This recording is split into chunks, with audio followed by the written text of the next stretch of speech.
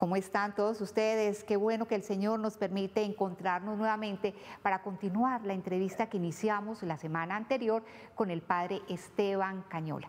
Padre, nuevamente un saludo, ¿cómo está? Muy bien, muchas gracias y muy contento de dar testimonio de la obra que va haciendo Dios en uno. Bueno, la semana pasada entonces hablábamos cómo fue eh, eh, su vocación, cómo se detonó después de que usted durante dos años, cuando estaba en el bachillerato, le dio la espalda al Señor, no quería saber nada de Él, eh, todo por la filosofía. La filosofía lo llevó a usted, la filosofía lleva a Dios, pero la filosofía también puede llevar a tener unas ideas contrarias, ¿no? Sí, y yo le doy gracias al Señor, o sea, Él me ha regalado unas convicciones tan grandes a partir de esa experiencia, que sí, es una experiencia de pecado, pues es nada más y nada menos que la apostasía. Pero yo le agradezco al Señor y me ha permitido entender el pecado como un paso. Algunas personas ven el pecado como algo catastrófico y ya como el final.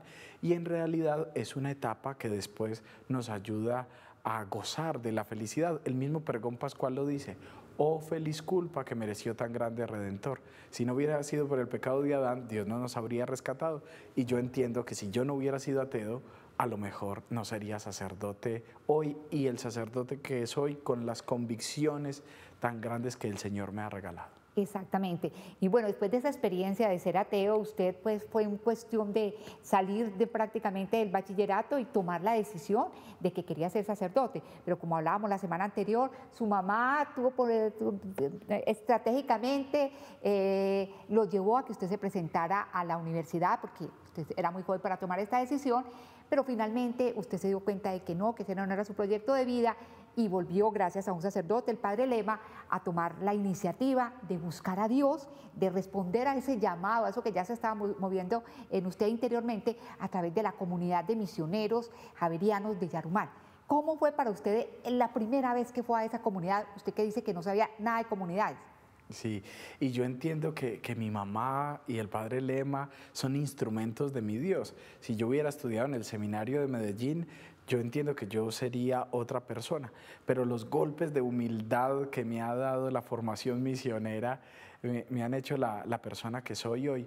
Y, definitivamente yo, yo siento como el Señor hasta el día de hoy me llama a trabajar con los más pobres, con los más necesitados, porque quiere que yo me, abaje de mi orgullo y que aprenda de la humildad que nos enseñan nuestros hermanos menores. Así que para mí fue impactante y cuando yo te contaba la semana pasada, cuando yo vi esos cantos, esos videos del África en la primera convivencia vocacional, yo, di, yo sentí una alegría y yo dije, yo quiero ser un sacerdote como ellos porque los veía felices compartiendo con nuestros hermanos en el África. Exactamente, bueno, ya dentro de la comunidad tuvo la oportunidad ya de estar en una misión, estar en campo de misión. En uno, usted dice que en uno de los sitios más pobres de Colombia. Cuéntenos, padre, cómo fue esa experiencia allá.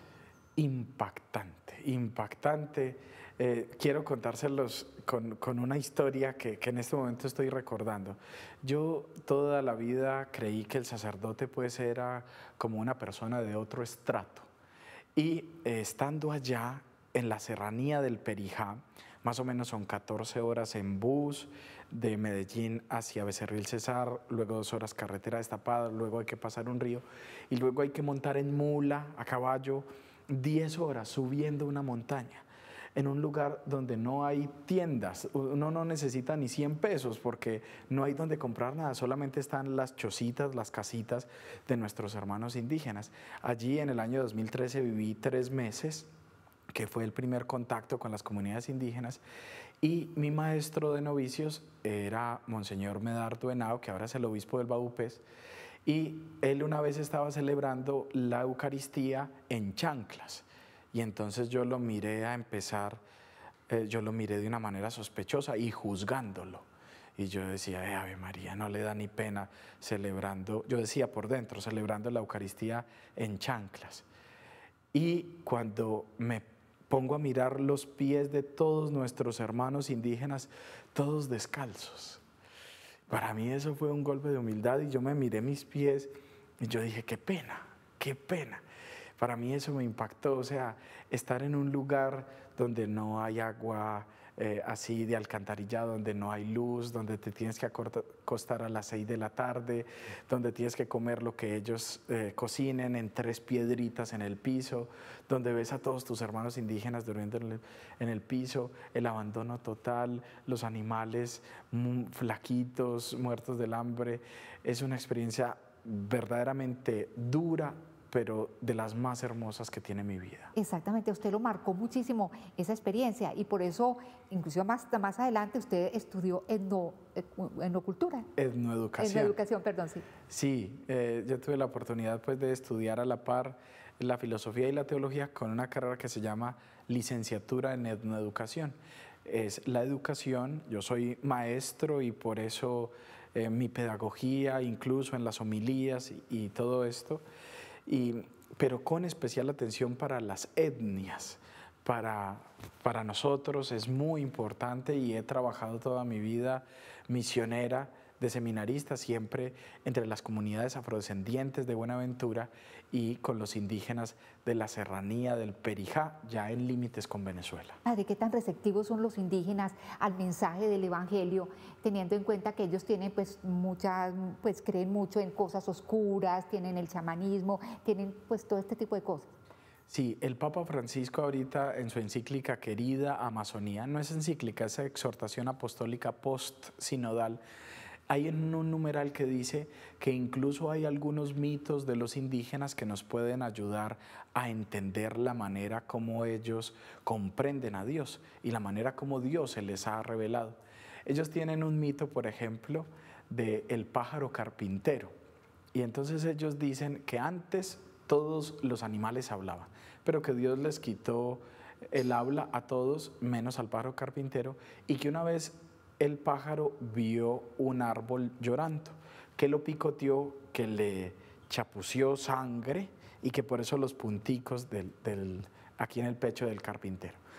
Y que le fue a contar a Dios y que le dijo el pájaro carpintero, papá, papá, hay un árbol que está llorando. Entonces, esa palabra papá es la traducción más fiel de la palabra abba del Evangelio. Y yo a mis hermanos indígenas Yukpa pude decirles, el verdadero nombre de Dios es papá, o en el idioma de ellos, papsh, que es en, Yukpa. Como nuestros abuelos nos, nos contaron que el pájaro carpintero le decía a Dios, papá, papá. Asimismo Jesucristo siempre, siempre se refirió a Dios diciéndole, papá, papá y para ellos es impactante. Entonces, eh, nosotros tenemos que buscar la manera de encontrar cómo Dios se les ha revelado. Los misioneros, yo le he dicho a mis estudiantes, los misioneros somos muy afortunados, porque en realidad antiguamente se pensábamos que íbamos a enseñar sobre Dios, pero Dios es amor. Y a mí esas culturas me han enseñado sobre el amor, porque yo iba supuestamente con muchos estudios a enseñarles a ellos sobre el amor y en una madre indígena como amamanta su hijo vi como ella amaba más que yo. Así que ellos me han enseñado sobre el amor, ellos me han enseñado sobre Dios. Usted ahorita decía que, que le tocaba, y les toca a todos los misioneros, comer obviamente lo, lo, mismo que comen los indígenas, que muchas veces no es lo que nosotros comemos normalmente, y muchas otras cosas. ¿Qué tan retador, padre, así realmente qué tan retador es para un misionero el, querer vivir tal como todas estas comunidades primitivas y demás. Yo heredé de, mi abuela el gusto por la comida, porque es una chef maravillosa y a mí toda la vida me ha gustado cocinar. Pero cuando llegué a este lugar tuve algunos choques, sobre todo pues con la asepsia, porque te quiero contar una historia que, para mí es impactante. Em, llevábamos varios meses ya sin comer carne y la señora donde yo estaba durmiendo, em, que se convirtió como en mi mamá allá entre los indígenas, se llama Mónica, o en idioma indígena Parantaxanó, y me dijo, y una vez le pidió a alguien que había matado un chivo, ay, deme algo para el padre, y no le querían dar. Y entonces alguien, como para quitársela de encima, le regaló un pedazo del mondongo, del estómago del chivo. Y ella medio lavó eso con un poquito de agua y lo echó a fritar, verde y todo. Y entonces me lo entregó como en un trofeo y me dijo, padre, mire lo que le conseguí. Y entonces yo eh, tenía que aceptarlo como tal, porque me lo entregó como un regalo maravilloso, verdadero pan del cielo. Y puede que no tuviera la mejor asepsia, pero sí tenía el más puro amor. Bueno, y además de los indígenas, padre, usted le ha tocado trabajar también con los eh, eh, las personas, los desplazados, no, los, las personas, migrantes. exactamente. ¿Cómo ha sido esa experiencia con ellos? Bueno, ya esto fue después de mi ordenación sacerdotal. mi superior me envió a trabajar en, en, el estado de Michigan con los migrantes. Eh, o sea, de la selva a Michigan. más o menos, más o menos, pero eh, es una oportunidad maravillosa porque, es decir, yo he aprendido que los misioneros somos afortunadísimos. Yo nunca entendí mejor ese llamado que Jesús hacía, por ejemplo, a los pescadores como cuando trabajé en Buenaventura. Nunca entendí mejor en lo de la historia de Israel, que ponían por escrito lo más importante, como trabajando con los indígenas que empezaron en la época que nosotros estábamos allá a plasmar su historia por escrito. Y trabajando con los migrantes entendí lo de la diáspora, lo que es estar lejos de la tierra natal. Entonces, a acompañar a las personas indocumentadas, hacerles entender que son hijos de mi Dios incluso estando en tierra extranjera, que esta tierra nos la ha entregado en heredad a sus hijos el, el, Señor, que las fronteras son líneas invisibles inventadas por los hombres. De verdad que es una experiencia maravillosa y además entender que si en algún lugar somos iguales es alrededor de la Eucaristía.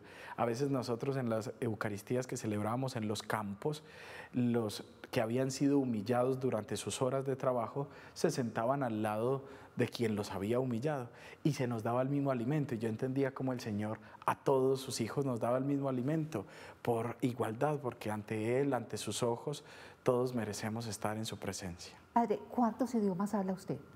Pues hasta el momento solamente me defiendo mucho en el idioma yukpa, que es con los indígenas que he trabajado. Eh, he sido, he tenido la oportunidad pues, de ser profesor de latín y de griego en mi seminario para los estudiantes de filosofía. El latín y el griego no los hablo, pero tengo la, capacidad pues, de enseñar las raíces y, esto.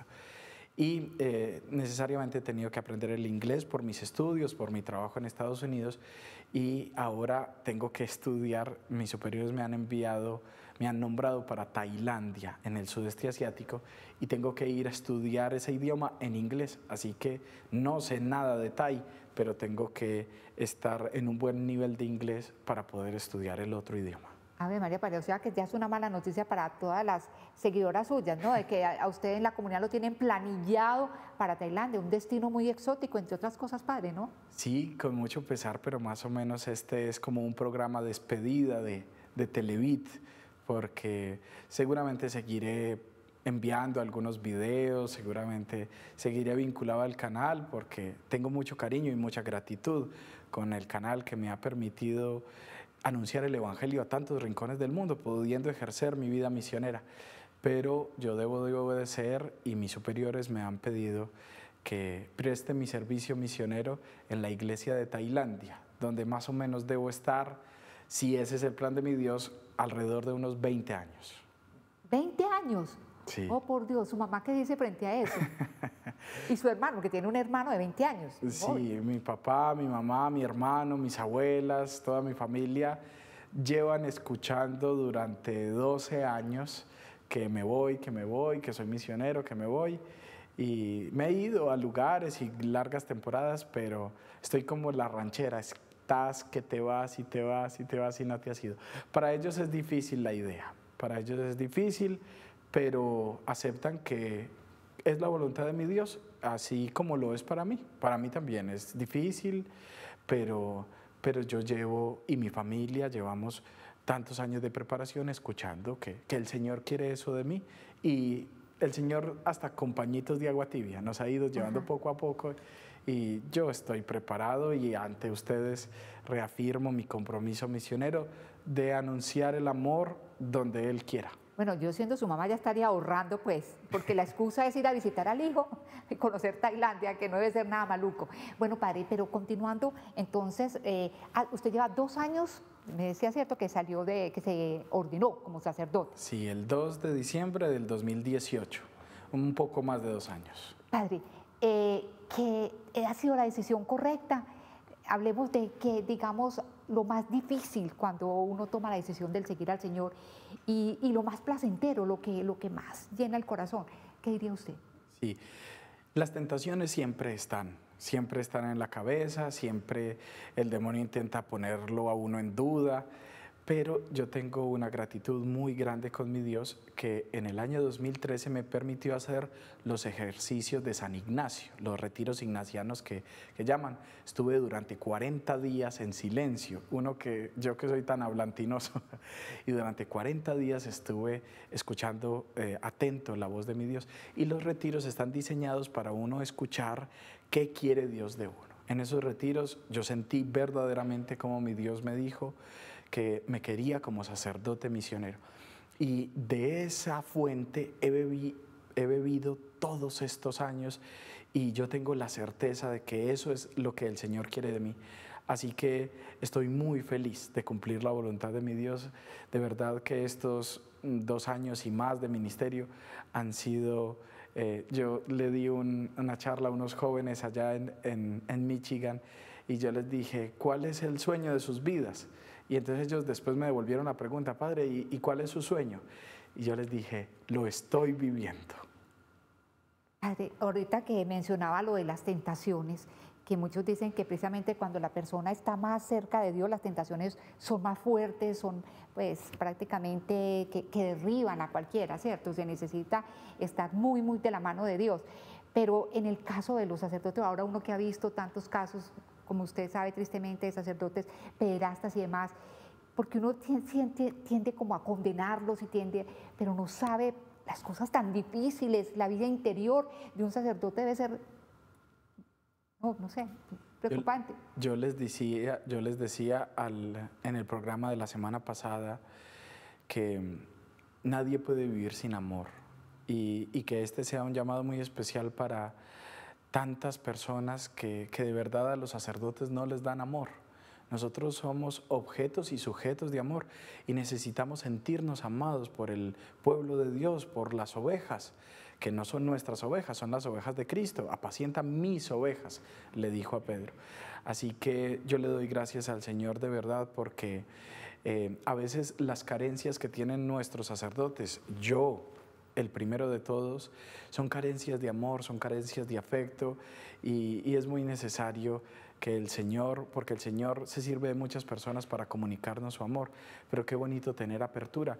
Y aprovecho para hacer un llamado porque las estructuras de los seminarios, yo he sido promotor vocacional de mi comunidad eh, durante cinco años y profesor también en, en mi comunidad de los seminaristas y hay un llamado urgente. Los seminarios tienen que convertirse en estructuras de amor, donde los seminaristas, donde quienes están formando entiendan que el mensaje del Evangelio es, es, puro amor, de que no es una escuela de selección donde hay que elegir los mejores, sino donde tenemos que elegir, donde tenemos que preparar a los que el Señor ha elegido para comunicar su amor al mundo a mí lo que me cuestiona siempre, padre, cuando hablamos de este tema, vuelvo al tema de los sacerdotes que tristemente han caído, es cómo se le puede perder el temor a Dios, padre, y sobre todo un sacerdote. Es decir, yo, yo no entiendo que los sacerdotes que hemos fallado, a mí me gusta incluirme en ellos porque yo soy un pecador, no es que pequemos porque hayamos perdido el, el temor a mi Dios, sino porque en el plan de mi Dios, Él hace de las catástrofes inenarrables milagros que no nos esperamos. Así que nosotros no podemos ver el pecado como un fin en sí mismo, sino porque el Señor muestra su obra grande en ello. O sea, donde, donde abundó el pecado, sobreabundará la gracia. Donde hay mucha oscuridad, el Señor brilla con más resplandor. Por eso en estos momentos tan difíciles de la iglesia, donde hay tanta oscuridad, Él brilla con más resplandor. Y curiosamente, en esta época de tantos escándalos y de tantas cosas, el Señor le ha dado paz, alegría, consuelo y amor a muchos hermanos nuestros. Y como decía el padre Lema, los sacerdotes somos como los aviones. Hay millones en el cielo volando y haciendo el bien y se cae uno y es noticia mundial. Exactamente. Pero entonces, ser sacerdote fue la mejor decisión, padre, para usted. Así es. Yo creo que cumplir la voluntad de mi Dios es la mejor decisión y yo estoy dispuesto a cumplirla hasta mi muerte. Ahí, eh, ¿cómo le gustaría que lo recordaran en un futuro, pues, cuando ya no esté entre nosotros? ¿Cuál sería la huella eh, por la que usted quisiera que todo el mundo recordara al padre Esteban Cañón? Hay algunas personas que me han escrito y me han dicho, padre, usted ya lo conocemos porque es el padre que siempre predica del amor. Así quiero ser recordado porque eh, a mí me molesta mucho cuando algún predicador empieza a hablar con terror y empieza a hablar de condenación, de candela, de infierno. Y yo les digo, dígame la traducción griega de evangelio me dicen, buena noticia. Yo le dije, y en medio de, ese terror anuncias la buena noticia. No, la alegría del Evangelio. Entonces yo quiero comunicar al mundo su amor y así les pido el favor siempre, siempre. El amor es el eje transversal del anuncio que yo hago con mi testimonio y con las pobres predicaciones. ¿Hay algún, alguna vocación que haya surgido a partir de, conocerlo a usted? Muchas, muchas, y es mi mayor orgullo durante cinco años fui promotor de, vocacional de mi comunidad y tengo varios seminaristas que están caminando y son mi mayor orgullo, entre ellos algunos indígenas. Bueno, el caso es que dentro de los misioneros de Yarumal hay testimonios maravillosos. ¿Cuánta gente, cuántos hombres que están realmente viviendo una santidad real hoy en día, así no tengan una aureola, así nadie sepa de ellos, pero están llevando una vida con una pastoral admirable? Muchísimas gracias, Padre, por haber estado acá, por haber permitido que los televidentes conocieran un poquito de este sacerdote al que ya tanto quieren y que tristemente se va, pero desearle lo mejor en la tierra a donde el Señor lo lleve y que vuelva por acá. Dios les pague y la petición del Papa Francisco, oren por mí. A ustedes, como siempre, Dios los bendiga, que estén muy bien.